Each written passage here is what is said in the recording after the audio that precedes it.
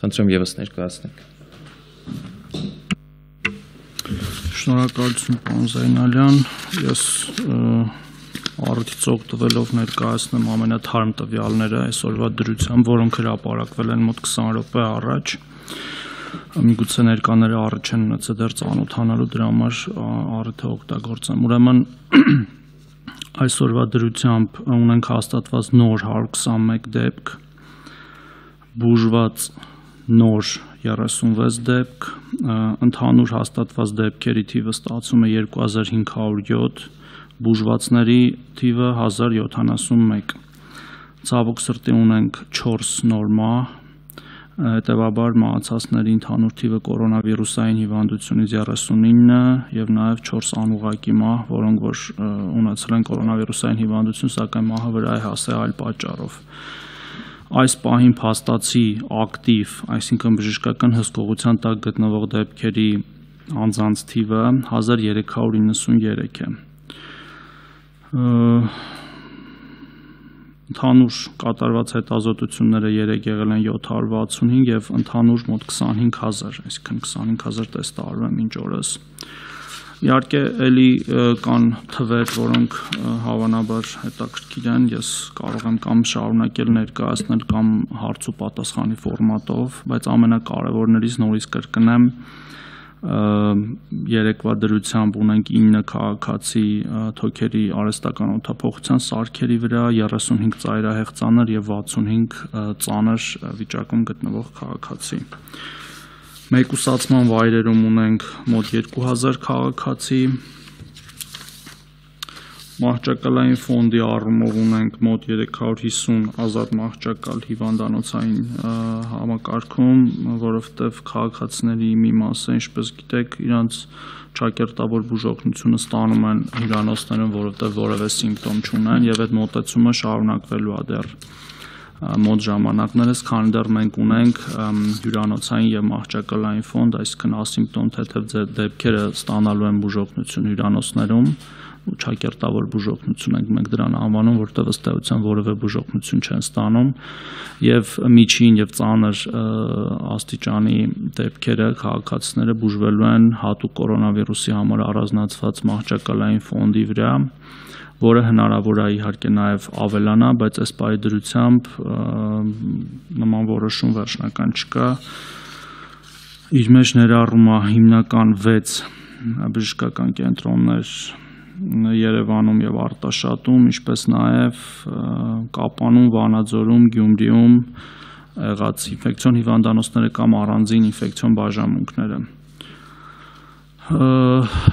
աշխատանքների մասով եթե անդրադառնամ կարծում եմ շատ ենք խոսել, շարունակում ենք հայտնաբերել, տեստավորել, իզոլացնել եւ բուժել սկզբունքը 4 քարաբաղադրիչ, կարելի է այդպես ասել, որը նաև առողջապահության համաշխարհային կազմակերպության հիմնական խորհուրդն է բոլոր երկրներին անկախ իրենց ունեցած դեպքերի թվից այսքան կապ չունի դու ունես 10 դեպք թե 1000 դեպք միևնույնն է այդ 4 քայլերը խորհրդատրվում իրականացնել այնքան քանի դեռ երկիրը ռեսուրս ունի դա անելու մենք իհարկե գիտենք որ երկրներ կան որ օրինակ համաճարակաբանական հետազոտության մասը արդեն չեն անում, այսինքն չեն հետևում, թե ումից է վարակը տեղի ունեցել, ումա հնարավոր որ վարակած վարակած լինի եւ սահմանափակվում են միայն հայտնաբերել, տեստավորել, բուժել այդ երեք քայլն են իրականացնում։ Մենք դեռ իրականացնում ենք 4 քայլնել ու կշարունակենք այնքան, քան դեռ կարողանում ենք։ Դա անկանխատեսելի մի բան է, չեմ կարող ասել մենք երբ կհասնենք դրան, բայց մինչ օրս այդ ամեն ինչը իրականացում, այսինքն մեր բոլոր հայտնաբերված դեպքերի հետագծելիությունը փորձում են գտնել այնքան այնքան խորը, ինչքան հնարավոր է։ Իհարկե լինում են դեպքեր, որոնք առաջնային վարակի աղբյուրը հնարավոր չի լինում գտնել, բայց այդ գործողությունները ամեն կոնկրետ դեպքի համար իրականացվում են։ Բուժական մասով առողջապահական համակարգի վրա ծանրաբեռնվածությունը գնալով իհարկե ավելանում է դեռևս տանելի բեռնվածության մակարդակի է, կարելի է այդպես ասել, սակայն բերի մեծացմանը զուգընթաց իհարկե հնարավոր է մենք պետք է այնպես անենք, որ չգա մի օր, երբ որ բուժօգնության կարիք ունեցող քաղաքացին մնա առանց բուժօգնության։ Մեր հիմնական նպատակը դա է այս պայի դրությամբ սարքերի եւ մահճակալային ֆոնդի, դեղորայքի, պարագաների, բժշկական անձնակազմի առումով այս պայի դրությամբ կարծես թե պակասի խնդիր չունենք, քանի դեռ իմ ասած թվերի մեջ ենք եւ ամեն ինչ պետք է անենք եւ նաեւ մեր քաղաքացիների այդ անհատական պատասխանատվությունը պետքա բերի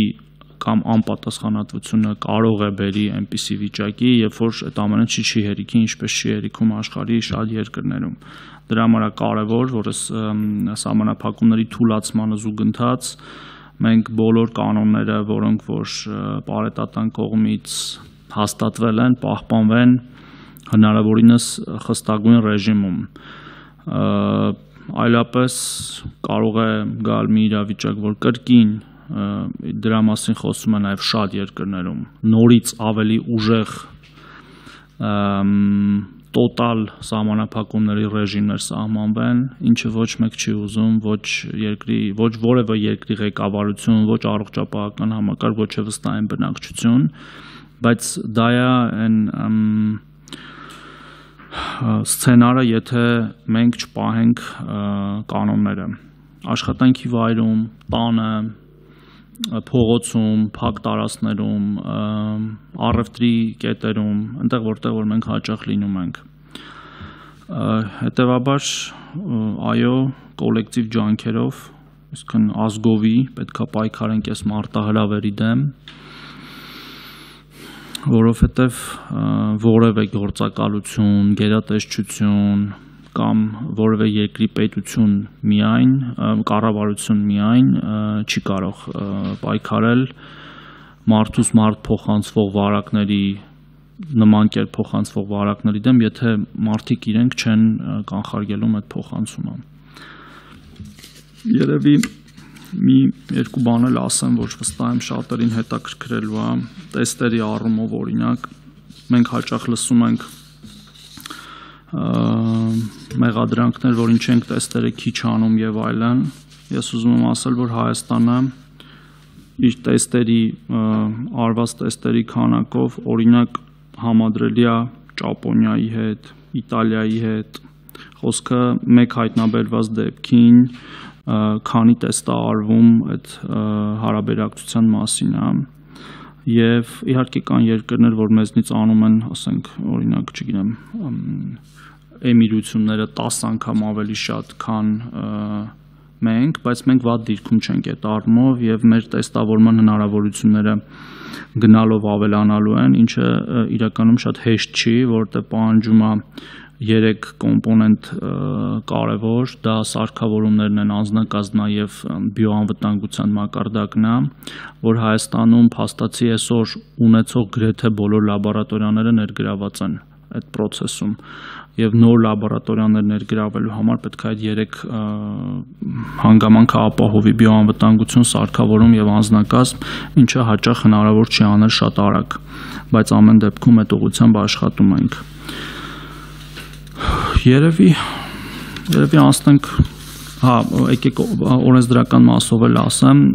այո օրենսդրական փոփոխություններ են տեղի ունենում ու մենք հավանաբար այսօր կառավարությունում կամփոփենք բժշկա սանիտարական անվտանգության մասին օրենքի մեր նախագիծը եւ համապատասխան ընթացակարգով կուղարկենք ազգային ժողով օրենքի փոփոխության անհրաժեշտությունը մեր կարծիքով կայանում է նրանում, հիմնականում կայանում է նրանում, որ արտակարգ դրության ավարտից հետո կառավարությունը ունենա գործիքակազմ լոկալ միջոցառումներ անելու խոսքը օրինակ լոկալ սահմանափակումների մասին աշխարհագրական ինչպես նաև այսօր գործող արտակարգ դրության պայմաններում գործող որոշ անձնական սահմանափակումներ հիվանդությամբ պայմանավորված հնարավորություն ունենա կիրառել նաև առանց արտակարգ դրության խոսքը մեկուսացման, ինքնամեկուսացման եւ բուժման մասին է կարծում եմ արագ տեմպով արագ ընթացակարգով կամ կամ սահմանված ընթացակարգով կտեսնենք արդեն նայած արտակարգ դրությունը կշարունակվի թե չէ կկարողանանք դա ընդունել ազգային ժողովում ինչպես նաև ընդունվել են փոփոխություններ ազգային ժողովում բժշկական օգնության մասին է սպասարկման բժշկականության սպասարկման մասին օրենքում արտակարգ դրության մասին օրենքում ու այո մենք ստացել ենք ձեր կողմից մշակված փաթեթները ու դրանց մասին կարծում եմ այս արդեն կամ ուղարկել ենք կամ շուտով կուղարկենք մեր կարծիքը միակ բանը որ պետքա հավանաբար խնդրեմ դա օրենքի կարգավորման առարկաները նույն տրամաբանության մեջ պահելն է եւ մեկ օրենքով կարգավորվելիք հարաբերությունները չտանել մեկ այլ օրենքի մեջ այլ եթե կարիք կա փոխելու փոխենք այն օրենքը, որի մեջ որ դա պետքա լինի եւ ոչ թե parzapes իրավիճակից դրտված դա անենք, դա էլ աշխատանքային կարգով կքննարկենք։ Երևի այսքանն է։